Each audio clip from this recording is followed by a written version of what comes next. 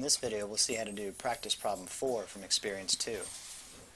During one shift, the express lane clerk recorded how many times customers violated the 10 items or less rule for his lane.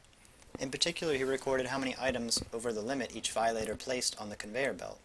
This data is summarized in the histogram below. Note, the last class actually represents 7 or more items, not just 7 items.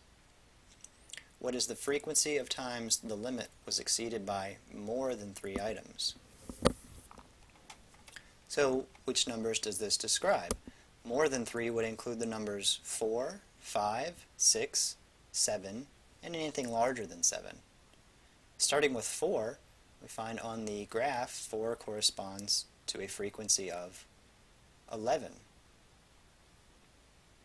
5 corresponds to a frequency of 11 as well. That's 22.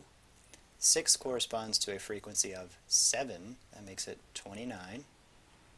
And 7 or more corresponds to a frequency of 6, giving us a total of 35.